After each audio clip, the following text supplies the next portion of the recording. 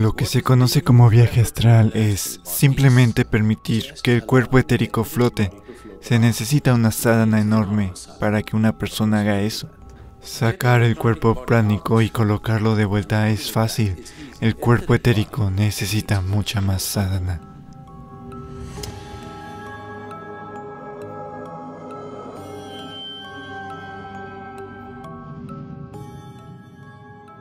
¿Qué es el viaje astral? Dicen que puedes simplemente recostarte. Quiero decir, no cualquiera, pero las personas que experimentan un viaje de esos salen de su cuerpo, permanecen fuera por un tiempo y luego regresan. Mira, la mayoría de la gente sé que está sucediendo muchas cosas aquí. En Estados Unidos, todo el mundo está haciendo viajes astrales. Es solo alucinación, ¿de acuerdo? Te acuestas y simplemente imaginas que estás volando aquí, volando ahí. Eso no es.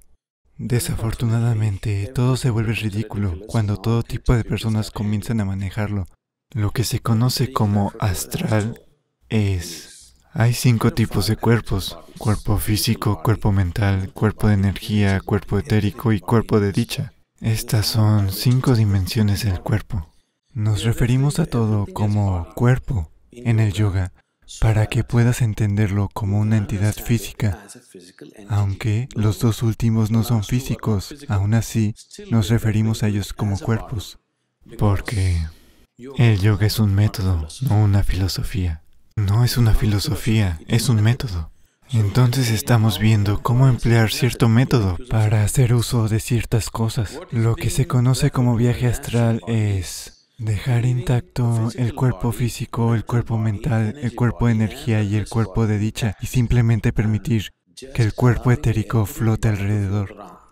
Eso significa que puedes realizar tu actividad aquí porque tu cuerpo físico, cuerpo mental, cuerpo de energía están intactos, pero simplemente permitiendo que el cuerpo etérico se vaya. Ese es un cierto tipo de dominio. No puedes simplemente mentalizarte en ello.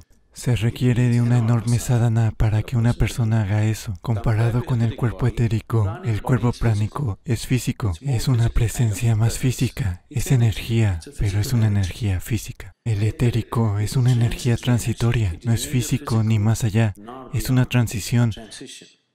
El cuerpo de dicha está totalmente más allá de lo físico.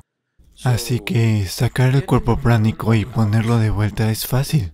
Es una experiencia mucho más fuerte porque es una parte física de ti. Sale y regresa. El cuerpo etérico necesita mucha más sadhana. Porque eso ni siquiera está en tu experiencia, no es algo que puedas tocar a menos que estés a un cierto nivel de sadhana e intensidad dentro de ti. Pero en cada esquina están haciendo viajes astrales estos días. Eso es solo alucinación.